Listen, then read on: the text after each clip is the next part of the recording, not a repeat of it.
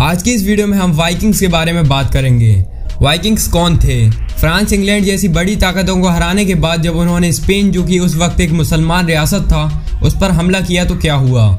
जब वाइकिंग्स के दफन शुदा कपड़ों पर रिसर्च करी जा रही थी तो उनके कपड़ों पर अली और अल्लाह के नाम लिखे हुए मिले। अगर ऐसा है तो मुसलमान और ईसाई वाइकिंग्स को काफिर क्यों कहते थे? या फिर वाइकिंग सच में ही मुसलमान थे? और अगर थे तो उन्होंने स्पेन पर हमला क्यों किया? ये सभी सवालों के जवाब जानने के लिए इस वीडियो को पूरा ज़रूर देखें। वाइकिंग्स कैंटीरिया के समुद्री लुटेरे थे। वो कैंटीरिया जो आज डेनमार्क, स्वीडन और नॉर्वे में बढ़ चुका है। इन लोगों के अपने ख्याली खुदा थे, जिनकी ये परस्तिश किया करते थे। इसलिए मुसलमान और ईसाई इन्हें काफिर और आतिश परस कहते थे। ये लोग खेती बाड़ी और समुद्र से मछलियाँ पकड़कर अपना गुजारा करते। वाइकिंग्स का दौर सात सौ तिरानवे ईस्वी से लेकर ग्यारह सौ ईस्वी तक का था।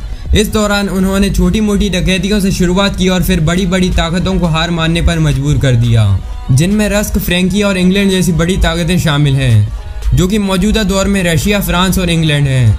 इससे हर तरफ़ इनका खौफ और दबदबा छा गया। और फिर उन्होंने स्पेन की तरफ़ कदम बढ़ाए, क्योंकि उस दौर में स्पेन की मीशत काफ़ी मज़बूत थी, जबकि शुमाली यूरोप दिन ब दिन गरीब होता जा रहा था।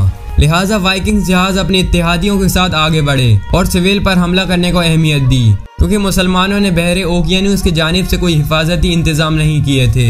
वाइकिंग्स के मुताबिक उन्हें इस जानब से कोई खतरा नहीं था। लिहाजा वाइकिंग्स ने इसका पूरा फ़ायदा उठाया और बहरे ओकियानूस के साहिल के जानब से हमला किया और साहिल पर मौजूद शहर लिस्बन को आठ सौ ईस्वी को लूट लिया और इस पर अपना कब्जा जमा लिया। और तकरीबन तेरह दिन काबिज रहे। और इसी दौरान मुसलमानों के साथ लड़ाइयों में भी मशरूफ रहे। उस दौर में स्पेन और पुर्तगाल दोनों ही खिलाफत कुर्तबा के जेर सल्तनत थे, जिसके अमीर अब्दुलरहमान दोम थे। इसीलिए लिस्बन के गवर्नर ने आपको लिस्बन पर हमले के बारे में खत लिखा। 25 सितंबर को वाइकिंग्स गदल कुबेर दरिया की जानब से सिविल पर पहुँचे, और वहाँ उन्होंने काबिल दिफा जजीरे पर अपनी बुनियाद कायम की। और जब 29 सितंबर को मुकामी अफवाज ने वाइकिंग्स के खिलाफ जंग की तो उन्हें शिकस्त हुई। मुख्तसर मुहासरा और भारी लड़ाई के बाद एक या तीन अक्टूबर को वाइकिंग्स ने तूफ़ान की तरह शहर को लूट लिया।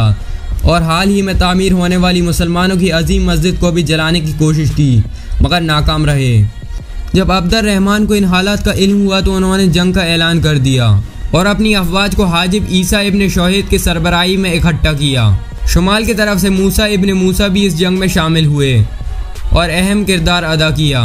आखिरकार मुसलमानों ने तलियाता के मुकाम पर 11 या 17 नवंबर को वाइकिंग्स को हराकर कामयाबी हासिल की।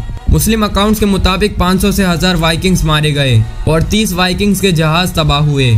इस वीडियो का सेकंड एपिसोड जल्दी ही आएगा। तब तक के लिए आप और भी वीडियोस देख सकते हैं।